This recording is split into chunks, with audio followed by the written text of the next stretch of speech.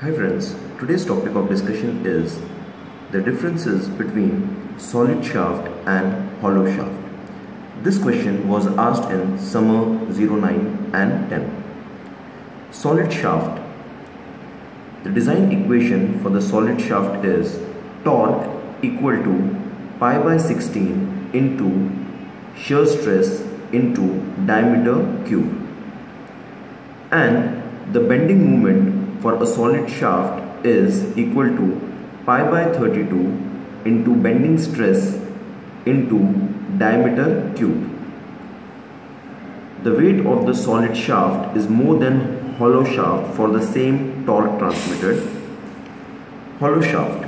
The design equation is the torque equal to pi by 16 into shear stress into the outer diameter cube into 1 minus k raised to 4 where k is equal to inner diameter upon outer diameter and bending moment is equal to pi by 32 into bending stress into outside diameter cube into 1 minus k raised to 4 where k is equal to inner diameter upon outer diameter.